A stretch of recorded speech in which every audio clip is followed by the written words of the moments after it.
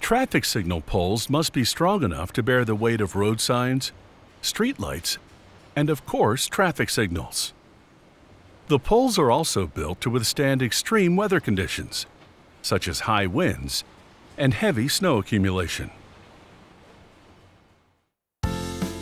Traffic signal poles are made of high-strength steel. Years of weather exposure can cause corrosion, so the poles are galvanized on both sides for protection. Each pole has a welded plate to connect it to a perpendicular pole. The poles are made out of these steel sheets. The steel arrives at the factory in one large roll.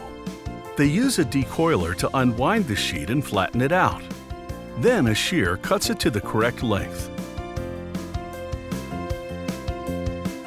Computer-guided plasma cutter marks short lines on both ends of the sheet. These lines indicate where to bend the flat sheet to form a round pole.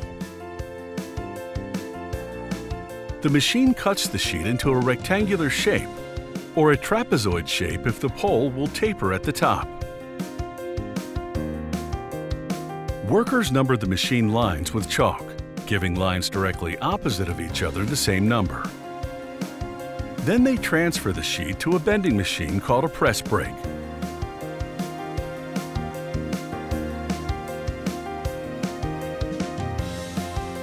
The press brake bends the sheet along the marked line to a pre-programmed angle.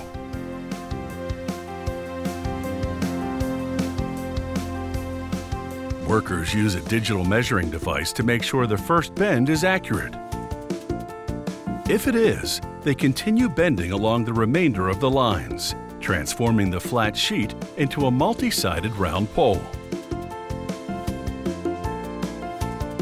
Now the pole moves to a welding station, where hydraulic rollers apply pressure from both sides.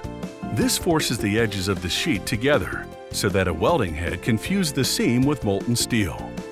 At the same time, the head deposits a granular powder called flux which prevents air from penetrating the weld and weakening it. Workers place the pole in a hydraulic press so it doesn't warp as the seam weld cools and shrinks.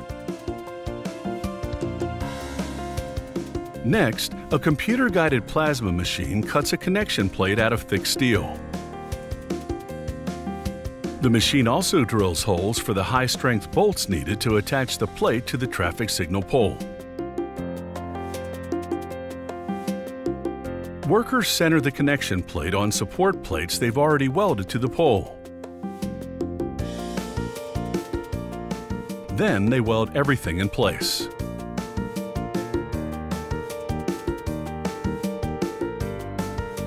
Next, workers weld a base plate to the bottom of the pole.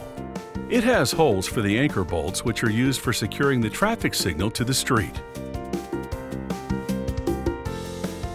Workers inspect the welds with a testing device. It uses an electric current to magnetically draw colored powder into any defective area. The factory ships the finished poles to a galvanizing plant, where they're dipped in a series of wash tanks. The plant's tanks are deep enough to fully submerge the poles, so they can treat both the inner and outer surface at the same time. Now the poles go into a vat of sulfuric acid. This bath dissolves the more stubborn contaminants that washing can't remove. The next tank contains a chemical that weakens the surface of the poles. This allows the galvanizing metal to penetrate the steel rather than sit on the surface. The final tank contains molten zinc,